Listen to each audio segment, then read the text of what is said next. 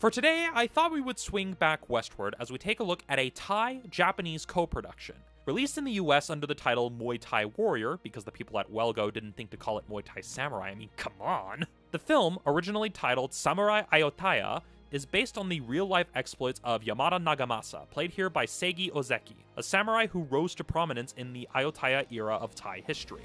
While I won't go into the details of where the film was accurate or inaccurate, one should always take films that are based on true stories with a grain of salt. As for this film itself, it plays out very similarly to films like The Last Samurai or Dances with Wolves, where an outsider falls in love with a new country, culture, and people, and then vows to fight to defend it. The only difference here is that Japan isn't trying to colonize Thailand in this film, yet.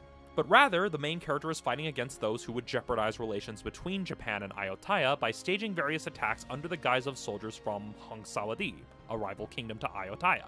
After he's attacked by the treacherous Kuroda, played by Mukuda Han, Yamada is rescued by fighters from a nearby village who nurse him back to health. From here, we slowly see Yamada become enamored with the culture and people of Ayutthaya, leading him to eventually study the art of Muay and become a bodyguard for King Naresuan, played by Somji Jongjohor. Narratively, the film holds up pretty well, but it is with the action scenes where the cracks start to show. Early on, it looks promising, as it relies on a great deal of skill for choreography and acrobatics. The village ambush around the halfway point looks particularly impressive, as the assassins are beaten back with torches along with the brutal punches and kicks that Muay is known for.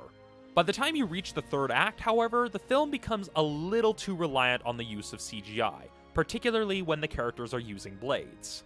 It's to the point of being laughably bad as we see unrealistic reactions to slashes and stabs mixed with almost cartoony blood splatter.